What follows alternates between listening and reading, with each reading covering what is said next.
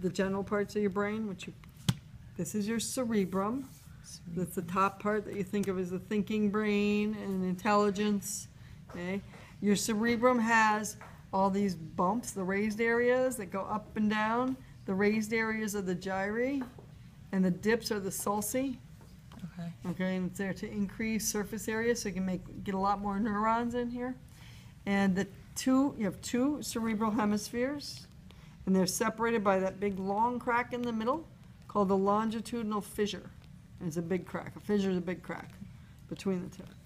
Then you have on the back, you have your cerebellum. This is the back posterior side. These are for balance and stance. So when you start to fall backwards, your cerebellum pushes you back up. okay. They're also referred to as the little brain because they have two hemispheres, just like this has two hemispheres. So you have cerebellar hemispheres. This is when, when spelling is really important. Cerebrum and cerebellum really makes a big difference because if you put the wrong word down there, you don't get credit for it. No. Cerebrum's on top. Cerebrum's on top, the cerebellum is in the back here for balance. Pushing it. Okay.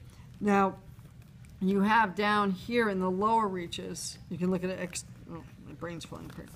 Externally, if you start down here it would be your spinal cord. Your spinal cord's gonna come up, and then the spinal cord runs into these two little bumps here, which are the medulla oblongata. Mm-hmm. And then on top of that, the bigger bumps here is the pons. And then in this area here would be the midbrain, okay, also called the mesencephalon. So if you look at it internally, you can see this is the brain stem, then down here would be the medulla, and then the supposed bump right there is the pons.